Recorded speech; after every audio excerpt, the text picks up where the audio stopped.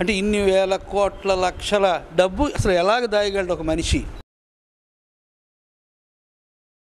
Graphic సినిమాలో మీరు అంజి దేవి లాంటి అన్ని సినిమాలు తీసేస్తారు. మరి మాకు మళ్ళీ ఎప్పుడు అందిస్తారు అటువంటి ఓకే ఎప్పుడైనా సరే నా నోట్ వందకు పైగా సినిమాల్లో నా సినిమాలు నాకే పోటీ నా ట్రీట్మెంట్ నాకే పోటీ.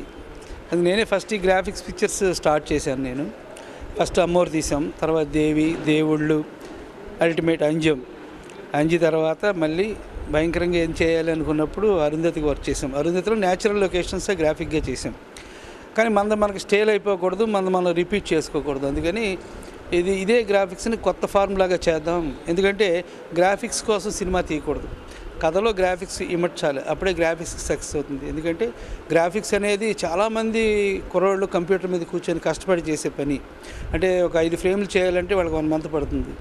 అలాంటి ఫ్రేమ్స్ జనంలో చప్పట్లు కొట్టించేలా ఉండాలి.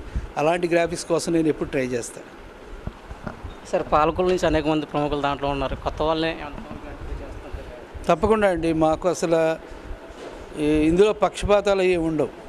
మాకు కావాల్సింది ఏంటంటే పర్సనాలిటీ వైజ్గా జనం ఏది లైక్ చేస్తారో వాళ్ళు కావాలి. వాళ్ళు ఏ మారుమూలు ఉన్నా సరే ఎత్తుక్కెళ్ళి వాళ్ళు తీసుకొచ్చి మేము చేస్తాం. అలాంటి క్వాలిటీ లేనివాడు మా పక్కన ఉన్నా సరే మేము ఇచ్చే అవకాశం మాకు ఉండదు. సార్ గతంలో ఒక రాజకీయ పార్టీ తరపున ఎమ్మెల్యేకి పోటీ చేస్తారు. పదంతా వచ్చింది. ఇప్పుడు రాజకీయాల్లోకి వచ్చే అవకాశం ఉంది. అంటే ఏ అవకాశమైనా మనం వదిలేయడం అనేది జరగదు. కానీ ఏదైనా ఒక దాంట్లోకి వెళ్ళాలంటే దాని మీద పూర్తి అవగాహన మనం సంపాదించాలి. సంపాదించిన తర్వాతే దాన్ని మనం టచ్ చేయాలి. ప్రస్తుతానికి మా అవగాహన సినిమా ఫీల్డ్ మీద. ఎందుకంటే సినిమాలు ఇంకా చాలా బాగా తీయాలి. ఇప్పుడు ప్రేక్షకులు అందరూ ఇంక్లూడింగ్ రిక్షా వాళ్ళ కూడా చాలా ఇంటర్లే ఇంటర్నేషనల్ సినిమాలన్నీ చూస్తున్నారు. అందుకని హోంవర్క్ ఎక్కువ చేయాలి. ప్రస్తుతం దీని మీద కాన్సన్ట్రేషను దాని మీదకి రావాలి అనే పట్టుదల ఉన్నప్పుడు దాని మీద అవగాహన సంపాదించి తప్పకుండా రావడానికి ప్రయత్నిస్తాం. దేన్ని వదిలేది మాత్రం లేదు. అంటే ఇప్పుడు రాజకీయ పార్టీకి వస్తే అంటే ఏ పార్టీకి రావచ్చు. నేను పార్టీ వైగా ఎప్పుడు ఆలోచించనండి. వ్యక్తిగా ఆలోచిస్తాను. ఒక వ్యక్తి మనకు ఉపయోగపడతాడు అంటే అతను ఏ పార్టీలో ఉన్నా సరే ఆ వ్యక్తిని మనం నిలబెట్టాల్సిన బాధ్యత ఈరోజు జనానికి ఉంది. జనం ఎప్పుడు ఓటు అనేది great weapon in the hand of democracy. కానీ మనం సుబ్రహ్మణ్య గుడికి వెళ్ళి పూలు పడగలు కొనుక్కున్నట్టుగా ఓటుని చాలా నెగ్లెక్ట్ చేస్తున్నాం కాబట్టి బ్యాడ్ రూలింగ్ అంతా మనకు వస్తుంది. అందుకని నేను ఎప్పుడైనా పాలిటిక్స్ వచ్చినా పొలిటీషియన్ అయినా ఇండివిజువాలిటీ మీదే ఆధారపడి చేస్తాను. ఇండివిజువల్ టాలెంట్ మీద నా ఒపీనియన్స్ని సమర్థించే విధంగా రూలింగ్ ఉన్నప్పుడు నేను చేస్తాను. ఈ పార్టీ ఆ పార్టీ ఆ వ్యక్తి ఈ వ్యక్తి లేదు. Good for the democracy. చాలా గ్రేట్ అండి. ఇట్స్ గ్రేట్ గ్రేట్ నాకు ఎందుకో మహాత్మా గాంధీ మళ్ళీ వచ్చి చేస్తున్నాడు అన్న ఫీలింగ్ నాకు వచ్చింది. అది వ్యక్తిగతంగా అతను చేస్తున్న దాని మీద కాదు.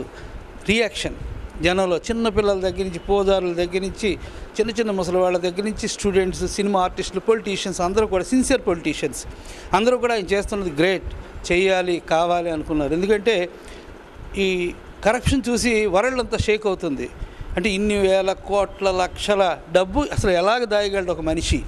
ఇన్కమ్ ట్యాక్స్ ఉంది గవర్నమెంట్ ఉంది పోలీస్ లా అండ్ ఆర్డర్ ఉంది. ఇంత కరప్షన్ ఎలాగో జరుగుతుంది అనే దాని మీద ఇంటర్నేషనల్గా కంట్రీ షేక్ అవుతున్నాయి. అలాంటిది మన కంట్రీలో జరగడం చాలా దురదృష్టం.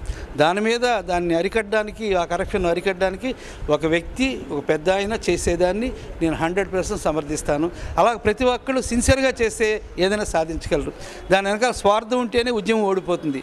అందుకే గాంధీ గారు చేసే ఉద్యమంలో స్వార్థం ఉండదు. చూడండి ఆయన మీటింగ్ చేస్తున్నప్పుడు జనం అందరూ అలా కూర్చుని ఉంటారు. ఇప్పుడు మన మీటింగ్లన్నీ వెళ్తుంటాం. అందరూ ఇసుకేసుకొని డ్యాన్స్ కట్టుకొని డప్పులు కొట్టుకుంటూ తిరుగుతుంటారు ప్రేక్షకులు.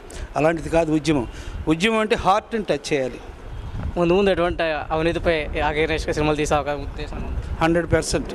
నేను కొత్తగా అవినీతి మీద సినిమాలు తీయడం ఎప్పుడు భారత బంధు అంకుశంలో నేను చేశాను.